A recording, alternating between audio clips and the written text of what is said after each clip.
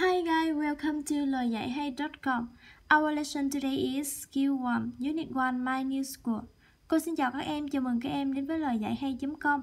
Và bài học hôm nay của chúng ta đó là phần Skill 1, bài số 1, trường học mới của tôi. Chúng ta sẽ đến với kỹ năng đầu tiên, Reading, Activity 1. Look at the pictures and quickly read the passages. Match 1, 3 with AC. Các em hãy nhìn vào bức tranh và sau đó đọc một cách nhanh chóng đoạn văn, nối từ câu số 1 đến câu số 3 với những câu từ A đến C. Đầu tiên, sunrise là mặt trời mọc. Thứ hai, answer. Number 3, dream là giấc mơ. A, a school in Bắc Giang là một ngôi trường ở Bắc Giang. B, an international school là một ngôi trường quốc tế. C, a boarding school in Sydney là trường nội trú ở Sydney. Đầu tiên, sunrise, các em sẽ nhìn vào bức tranh và đoạn văn đầu tiên thì sunrise is a boarding school in Sydney thì tương ứng với câu C. Tiếp theo, Anson. Đoạn văn thứ hai các em có thể quan sát thấy Anson is a lower secondary school in Bắc Giang. Thì Anson là một ngôi trường ở tỉnh Bắc Giang nên cô sẽ nối với A, number 2A. Và tương tự Trim Dream is an international school. Cho nên câu số 3 cô sẽ nối với câu còn lại đó là B.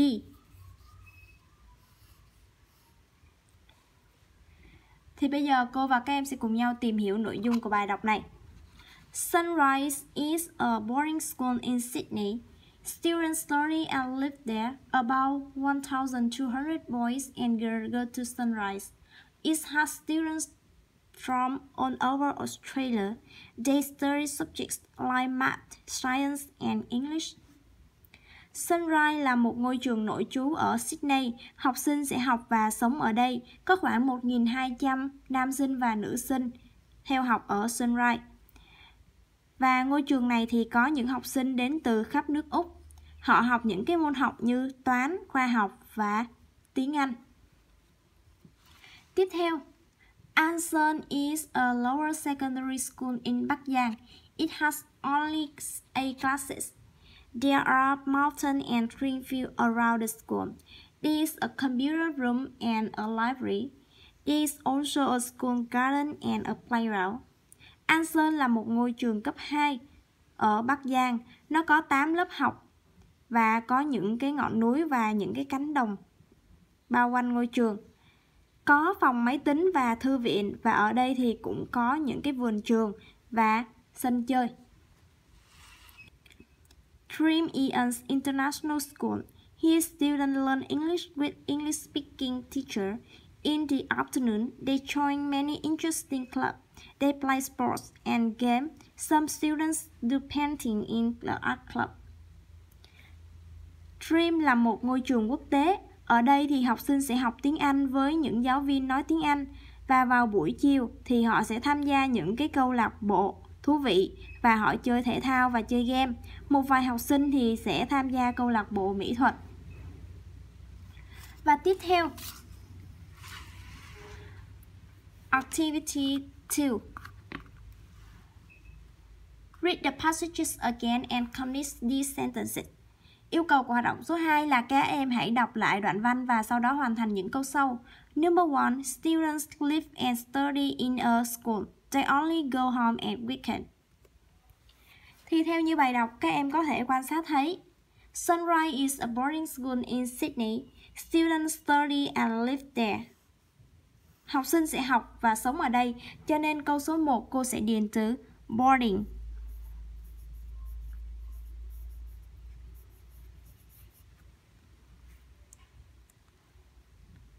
Có nghĩa là học sinh sẽ sống và học tập trong trường nội trú và họ chỉ về nhà vào ngày cuối tuần. Tiếp theo, number 2, Sunrise is a school in. Sunrise là một ngôi trường ở. Thì các em có thể thấy là in Sydney cho nên câu số 2 cô sẽ điền từ Sydney.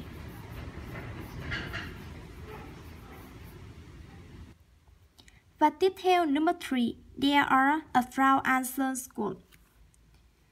Thì trong câu số 3 này, các em có thể thấy There are mountain around the school. Cho nên câu số 3 cô sẽ điền từ mountain.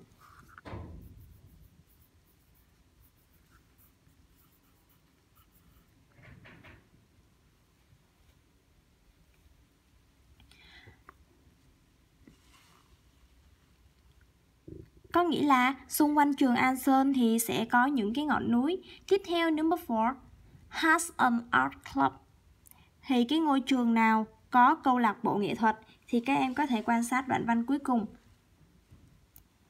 Some students do painting in the art club thì đó là trim. Cho nên câu số 4 cô sẽ chỉ đề ở đây là trim. Có nghĩa là trường học Trim thì có câu lạc bộ nghệ thuật. Tiếp theo, number 5, at Dream School, students learn English with Tại trường Trim thì học sinh sẽ học tiếng Anh với giáo viên nói thì trong câu số 5 này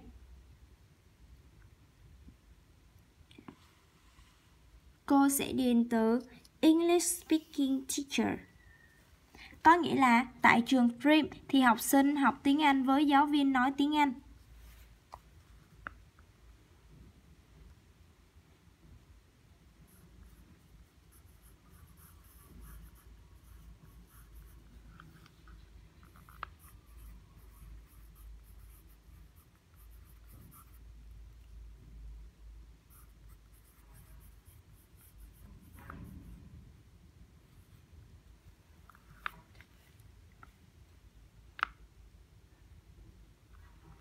Và tiếp theo, Activity 3. Answer the question. Trả lời những câu hỏi sau. Question number one. Which school is a boarding school? Có nghĩa là cái trường học nào là trường nội trú? Thì các em có thể thấy Sunrise is a boarding school in Sydney. Sunrise là một trường nội trú ở Sydney, cho nên câu này cô sẽ trả lời Sunrise is a boarding school.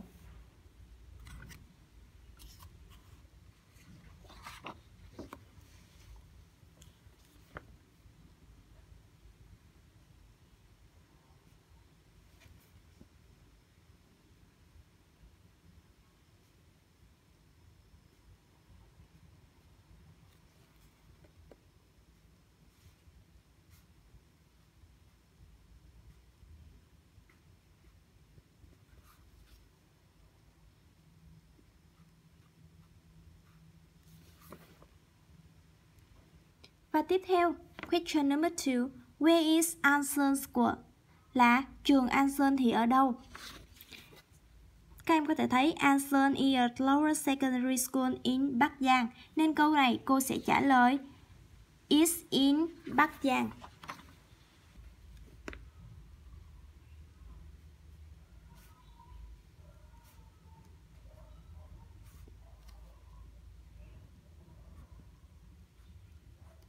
Và tiếp theo, question number 3. Is there a school garden in Anson School? Là trường Anson thì có vườn trường hay không? Các em có thể thấy trong đoạn văn thứ hai, tác giả có nói There is also a school garden and a playground. Cho nên câu này cô sẽ trả lời đáp án là Yes, it is.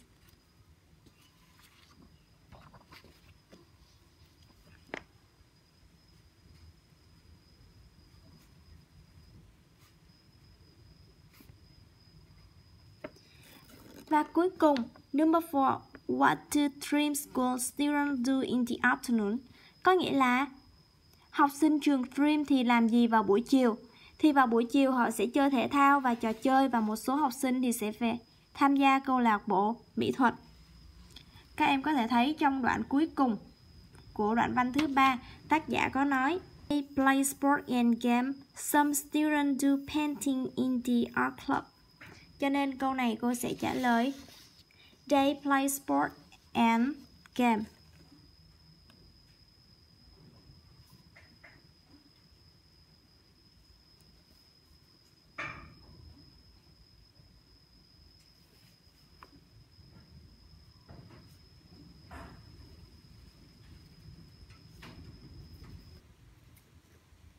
Some students do painting.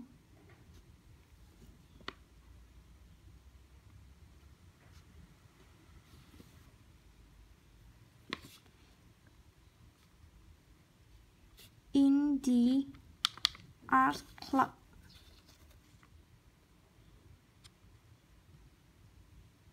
Tiếp theo, speaking, kỹ năng tiếp theo là speaking activity for Which school in activity 1 would you like to go to? Why or why not?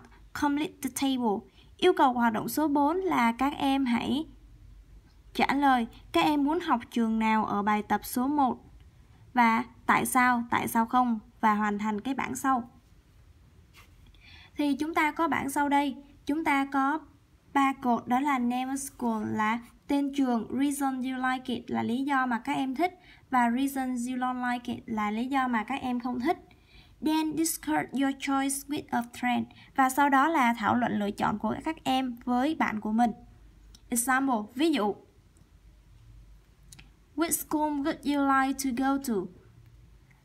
Bạn muốn học ở trường nào? B. I like to go to dream School. Mình muốn học ở trường dream Why? Tại sao? B.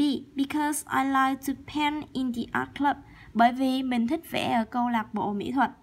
Thì sau đây cô sẽ chuẩn bị sẵn một bảng để giải thích đưa ra những cái lý do mà các em trả lời cho bài tập này. Chúng ta có bảng sau. Đầu tiên, name of school, tên trường đó là Sunrise. Reason you like it, lý do mà các em thích là I can practice English with other students. Là tôi có thể thực hành nói tiếng Anh với những học sinh khác. Và reason you don't like it và lý do mà em không thích thì đó là it's a boring school, so I can't go home every day. Là bởi vì nó là một ngôi trường nội trú, vì thế mà tôi không thể về nhà mỗi ngày. Và ngôi trường tiếp theo đó là Anson. Anson lý do mà các em thích là bởi vì it's e in a beautiful place, so it has a good view. Là nó nằm ở một địa điểm rất là đẹp để ngắm cảnh. Và lý do mình không thích là it's quite small and very remote, so it isn't convenient to travel. Là trường khá nhỏ và rất xa xôi vì vậy mà đi lại bất tiện. Và ngôi trường cuối cùng đó là Trim thì lý do mà các em thích đó là I can learn English with English speaking teacher and join many interesting club là tôi có thể học tiếng Anh với giáo viên nói tiếng Anh và tham gia những câu lạc bộ thú vị. Và lý do mà các em không thích có thể là it's an international school, so it's maybe expensive. Là đó là một ngôi trường quốc tế nên có thể là học phí rất là mắc đưa ra và hướng dẫn các em trong hoạt động số 4 này thì các em có thể cùng thực hành với bạn của mình để có thể thực hiện bài nói còn bây giờ thì chúng ta sẽ đến với phần tiếp theo, đó là cô sẽ tổng kết toàn bộ từ vựng mà các em cần ghi nhớ trong bài học này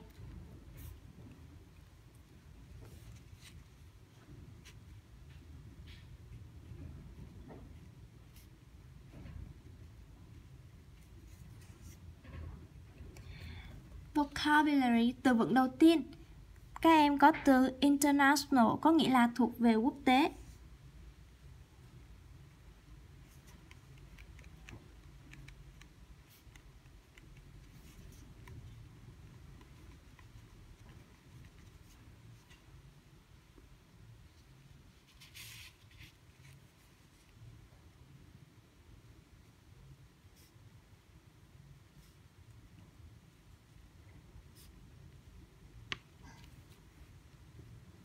Và từ thứ hai, chúng ta có từ boarding school, có nghĩa là trường nội trú.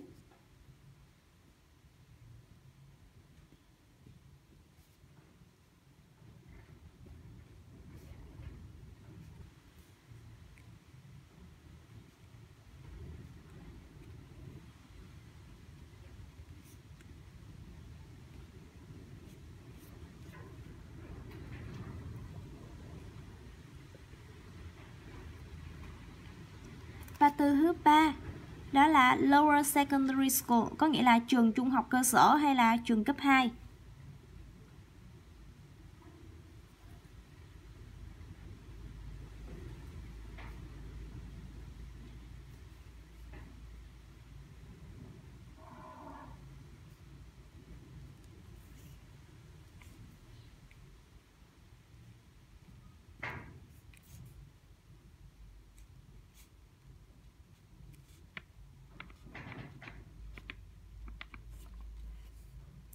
Từ thứ tư, chúng ta có từ mountain, có nghĩa là núi.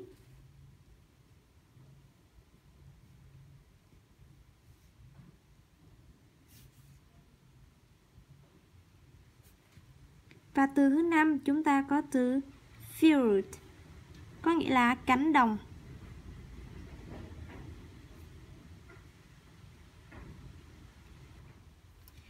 Và từ thứ sáu chúng ta có từ computer room là phòng máy vi tính.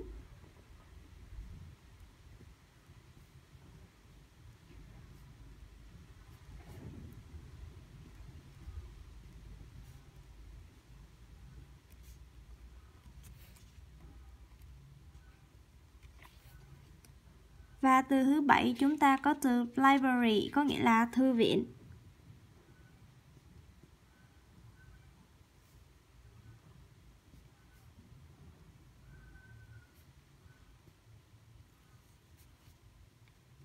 Number 8, chúng ta có từ school garden.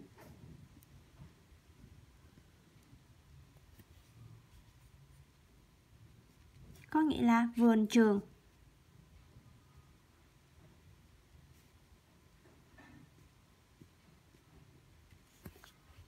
Number 9, chúng ta có từ club, có nghĩa là câu lạc bộ.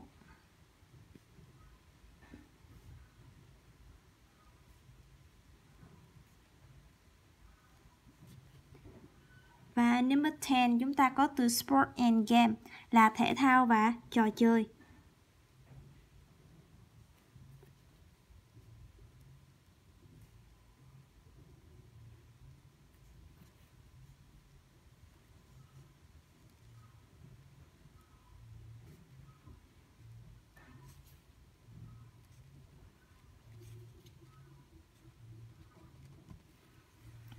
Và đó là toàn bộ 10 từ vựng mà các em cần ghi nhớ trong bài học này.